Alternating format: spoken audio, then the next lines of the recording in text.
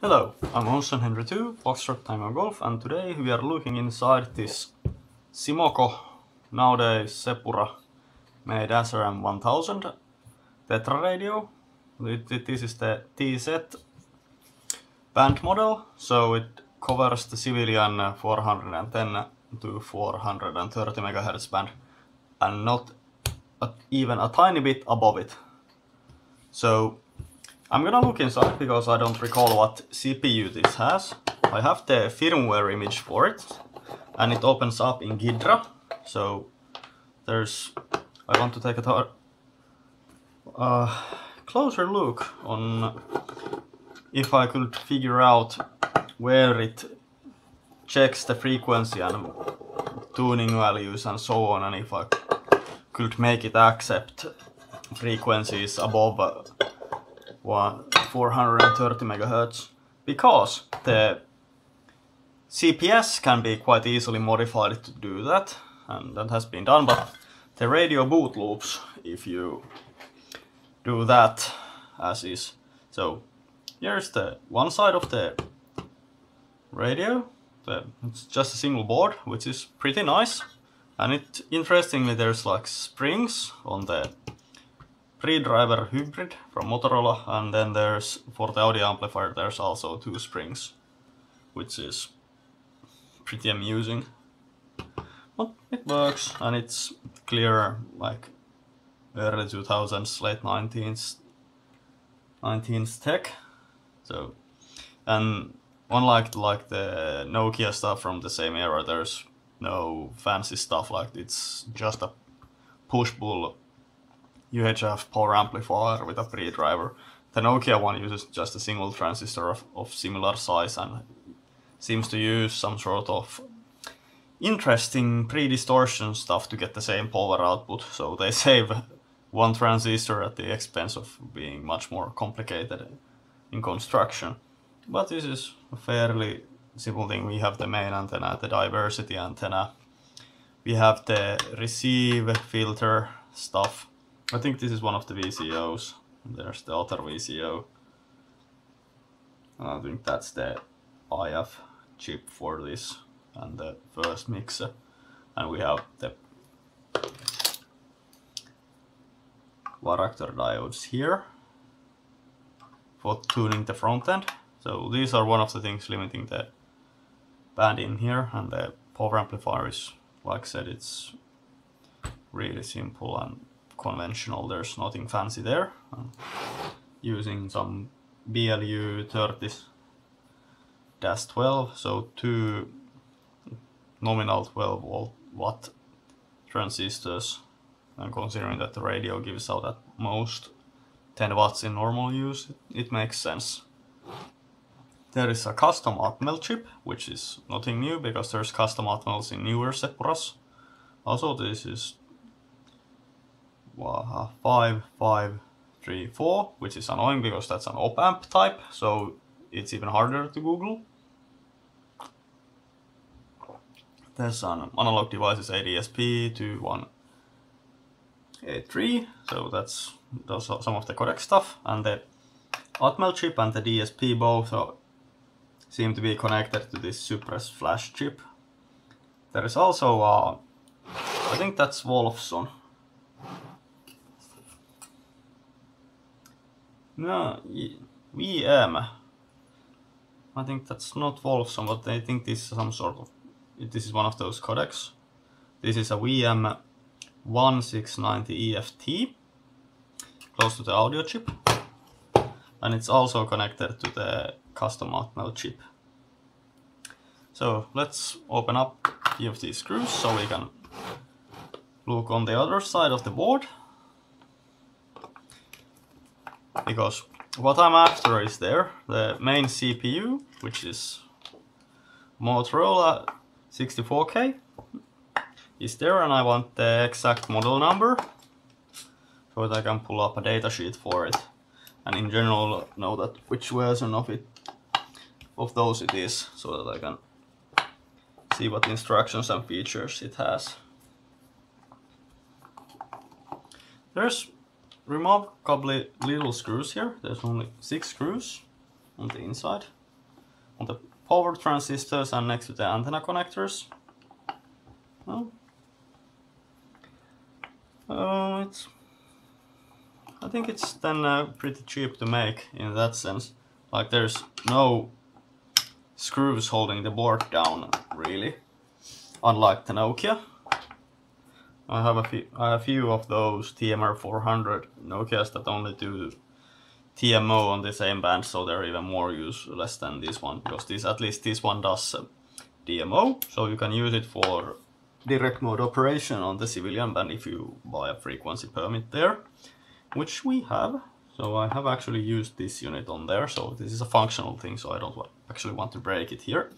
I also have a few of these that that are broken. There's some knocked off inductors and stuff like that in those that like these two really get knocked off really easily and so they rattle around but I don't have enough of these control panels head ends whatever for these that I could make any use of them anyway so I've, I've yet to repair them because and uh, I have newer Sepuras for more fun on the bands.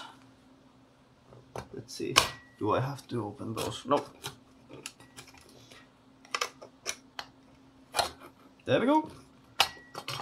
So, nothing else, just heatsink on the other side. So, and the, on the other side, we have the GPS module, a cap, some filtering, and something from analog devices. I think that's a 45 megahertz IF filter and 8607 ARS. Okay, and just these transistors here. And then we have the GPS, which connects to this trash SMC connector, which I should replace something like an SMB. It has an MCX. And if I recall correctly, these are the useful Thunderbolt version with a 10 kilohertz output, so you can make a GPS DOE out of these if you just remove them or reuse them. Which is the good thing to do for these, in my opinion. They are pretty old and so on. But we have the motor main Motorola chip. We have some chip here yeah, have an 88, 8089LS 8252. So I think that's a 89 series was a 8051 microcontroller from what I recall. We have a flash for the firmware, some I think that's SRAM and not DRAM. I think. Uh, Cypress CY621 3, 6 VLL. I think that's SRAM and not DRAM. But we'll see. Then we have an ADM 3202 air. I think this is a serial level shifter from what I recall. So we have two level shifters here, which makes sense because there's a at least two serial interfaces because you need to, it talks over serial to this one and in the versions that you can actually use to program the radio there's a D, normal D9 here that you connect, plug your pro, serial programming cable to and you use that to program in the channels and everything to the radio. It's pretty nice, it's a one-to-one -one serial cable so you don't need anything fancy to do the programming outside of the software so you just have a serial port in a computer then you connect pin 1 to pin 1, pin 2 to pin 2, and pin 3 to pin 3, and so on for the whole serial con connector. And this is an MC68CK 338 CPV14, which sounds normal, it's not some SC something, so it sounds like a normal Motorola 68K one. So, which is nice, but there's... This is all for a Tetra radio, which is pretty straightforward. On the receiver we have the front-end filtering, first mixer and close to the first mixer we have the 45 megahertz first intermediate frequency filter which makes sense for a UHF radio. We have the IF.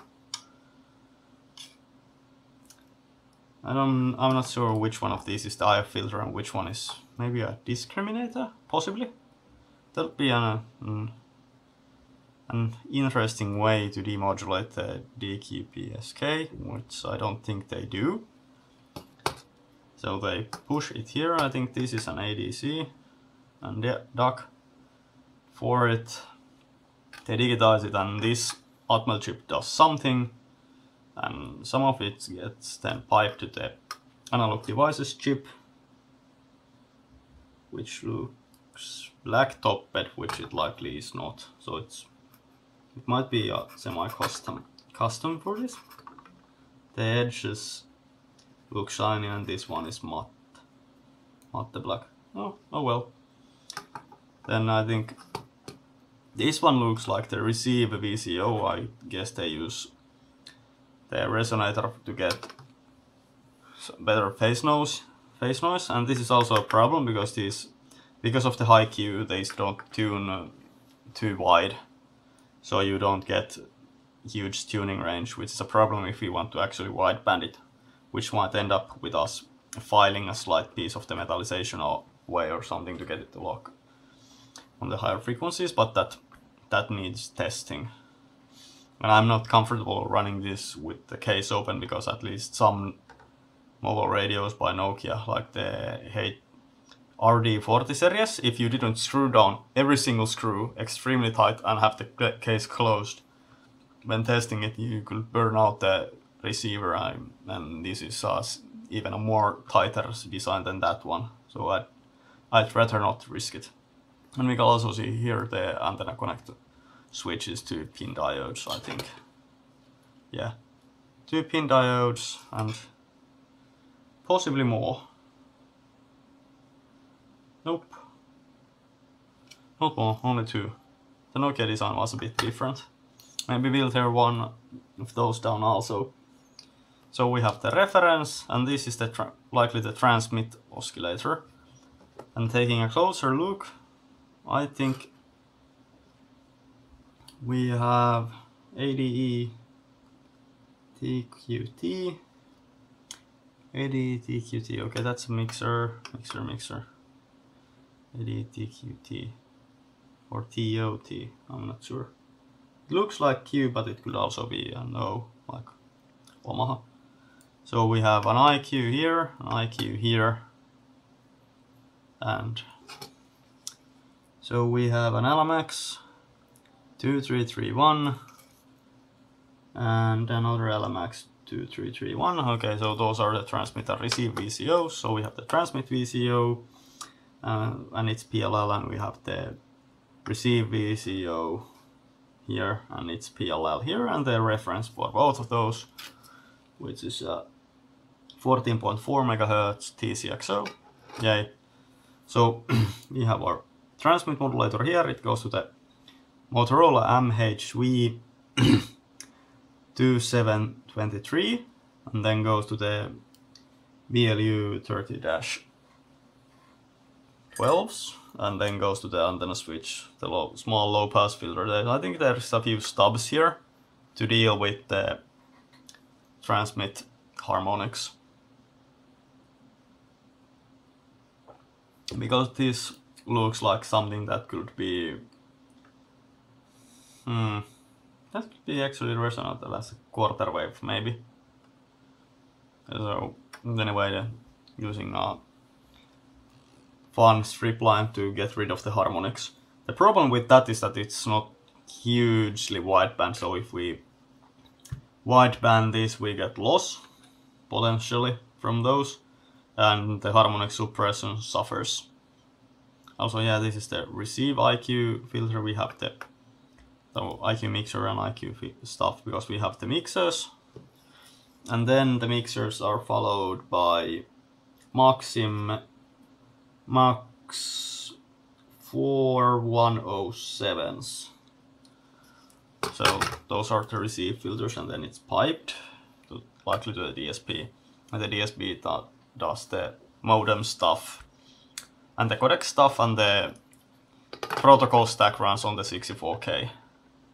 According to the rumors I've heard, uh, it was really hard to get the whole Tetra stack to work there, so I'm not terribly surprised that these don't have like a DMO repeater option available and so on. But still, it's it's a neat thing because these were I think they were scrapped because I didn't pay anything for this one. They were just arrived as a pile of scrap radios to the amateur radio club, and I claimed one for experimenting. So, anyway, this was the TZ civilian band uh, SRM 1000 uh, Tetra mobile radio from Sepura.